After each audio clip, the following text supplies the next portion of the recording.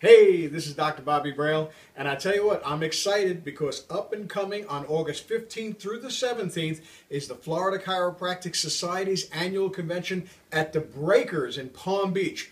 What a great facility, what a great program. I'm going to be there, I'm teaching, I'm looking forward to seeing you there. It is an event you don't want to miss. So come on down to Palm Beach, Palm Beach, the Breakers on August 15th through 17th. Look at fcschiro.com, the Florida Chiropractic Society Annual Convention.